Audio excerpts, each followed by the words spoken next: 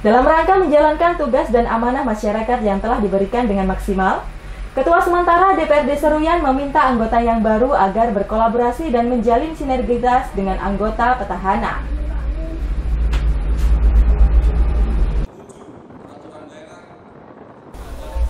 Setelah resmi dilantik terdapat 12 orang anggota DPRD Seruyan yang baru. Dalam menjalankan amanah yang telah diberikan masyarakat, tentunya kolaborasi perlu dilakukan sehingga semuanya bisa bekerja sama dengan baik dan setiap anggota bisa menyalurkan suara rakyat.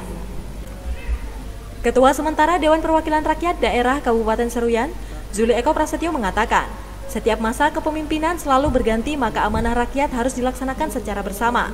Tentunya anggota petahana juga terus belajar dan masukan dari anggota baru juga diperlukan.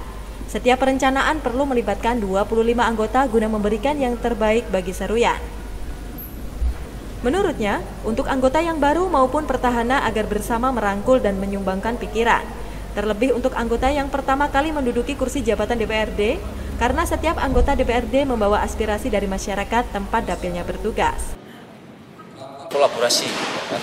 Eh, saling tukar pikiran tentunya setiap apa eh, masa juga ada apa orangnya ya kan silahkan untuk uh, tetap ya sambil belajar ya kan?